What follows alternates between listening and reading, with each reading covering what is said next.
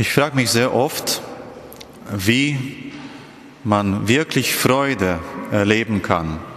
Und es gibt so Momente in meinem Leben, wo ich ganz genau weiß, da gibt's diese Freude. Aber euch geht es wahrscheinlich auch ähnlich. Wenn man ganz glücklich ist, ist es ein Moment, den man nicht wirklich festhalten kann. Und man kann das auch nicht produzieren. Man kann zwar irgendwelche Bedingungen schaffen, dass es leichter vorkommt, aber es gibt keine Sicherheit, dass wenn du etwas tust, wirst ein glückliches Leben führen. Das ist so meine Lebenserfahrung. Ich kann mich noch so anstrengen, es kommt wieder ein Tag, der nicht so gut ist. Irgendwann man wird krank oder man ärgert sich über irgendetwas. Kommen sehr viele Dinge. Und es ist nichts Schlechtes zu versuchen, diese Freude zu finden. Das ist auch etwas, was uns im Advent nahegelegt wird, dass wir uns auf die Suche nach dem begeben, was uns Freude gibt.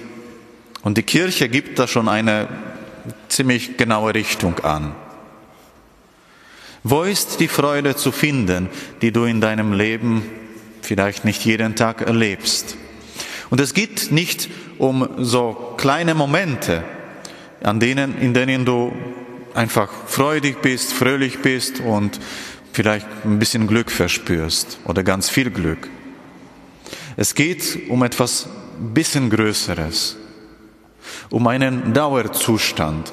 Und die Bibel sagt uns, das ist möglich seinen Zustand der tiefen Freude zu erreichen.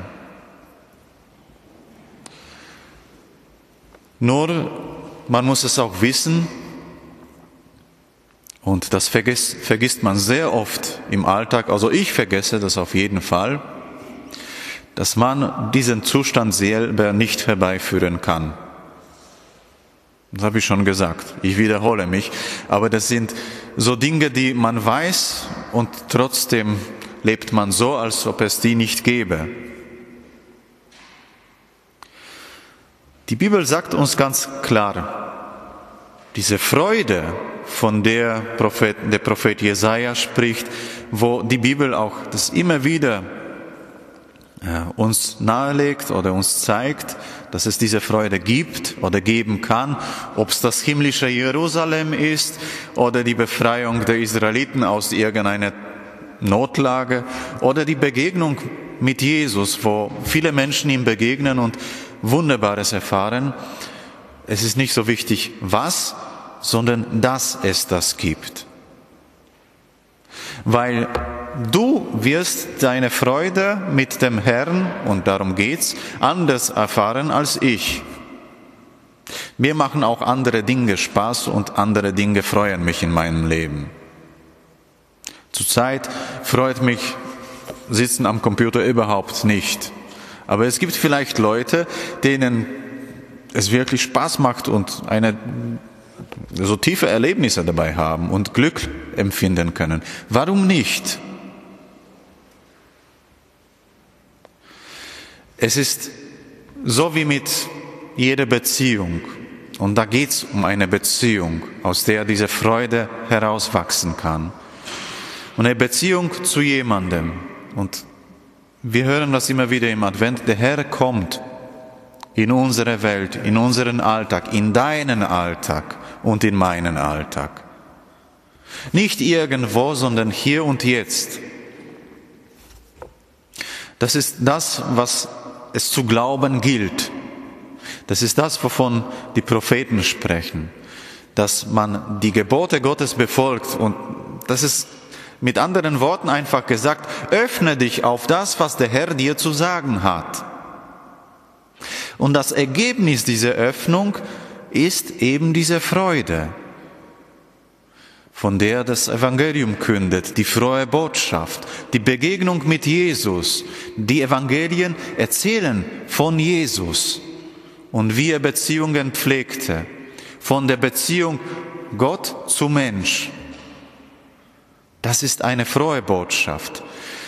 Und diese Freude, von der ich spreche, kann man eigentlich hier auf Erden nur auf eine Art und Weise empfangen. Im Himmel wird es anders sein, aber hier gibt es nur einen Weg, sich auf den Herrn einzulassen, weil er ist derjenige, der das schenken kann. Nicht du selber, nicht deine Frau oder dein Mann, deine Kinder oder sonst jemand, sondern der Herr. Und ich lade dich dazu ein, an diesem Abend dich zu öffnen. Auf den Herrn, auf das, was er dir geben möchte. Es muss nicht immer besonders viel sein. Meistens ist es der richtige Blick für das Wesentliche, wo du erkennst, da bin ich richtig, das ist mein Zuhause und ich bin froh darüber, dass es das gibt. Oder wenn du erkennst, ich muss etwas ändern in meinem Leben, damit diese Freude, die mir der Herr schenken kann oder will, auch Eingang finden kann in mein Leben. Überleg dir ganz genau, was in deinem Leben diese Freude verhindert. Ich habe das, also ich erlebe das immer beim Autofahren. Wenn ich Auto fahre, kann ich weder nett sein noch Freude empfinden. Und es liegt nicht so sehr an den anderen, weil die fahren auch nicht anders als ich. Aber das ist schon anstrengend, also für mich persönlich. Ne? Das ist für mich schon anstrengend. Ähm, also mein Motto beim Autofahren, äh, lass dich von anderen nicht erwischen. Also nicht von den Polizisten, sondern von den anderen Autofahrern weil ich wenig Vertrauen in ihre Künste habe, in meine auch nicht so viel, aber doch mehr. Man muss sich auf so viele Dinge konzentrieren und in diesen Tagen ist es noch anstrengender. Also weiß nicht, ob du mit dem Auto jetzt unterwegs warst. Die letzten Tage, die, die kommende Woche wird noch schlimmer, weil alle müssen irgendwas noch einkaufen und alle sind im Stress und alles ist anstrengend und alles muss schnell gehen. Da weiß ich, die nächste Woche soll ich so wenig Auto fahren wie nur möglich, damit der Herr mir seine Freude schenken kann. So einfach ist das. Was ist das Hindernis bei dir?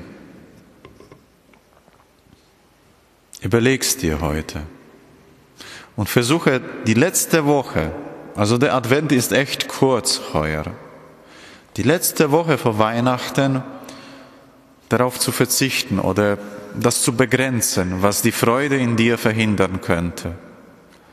Und das zu fördern, was diese Freude gibt. Wenn du einen tiefen Frieden in dir spürst, wenn du mit irgendeinem Menschen redest oder mit ihm Zeit verbringst, seien es deine Kinder, Freunde, Ehegatte oder sonst jemand, dann suche die Zeit mit denen. Schaufle dich frei. Und der Herr wird dir auch den Frieden und die Freude schenken, die du suchst in deinem Herzen. Und über Weihnachten auch hinaus, wenn du dran bleibst. Also verzage nicht, wenn es hektisch wird die nächsten Tage, und konzentriere dich auf das Wesentliche. Lass dir das nicht nehmen, was der Herr dir schenken will. Und er will dich reichlich beschenken. Das ist eben das, was uns die Bibel erzählt, dass der Gott, an den wir glauben, ein ziemlich reicher Typ ist. Er hat von allem mehr als genug und er möchte es dir schenken damit du Anteil an seiner Freude hast.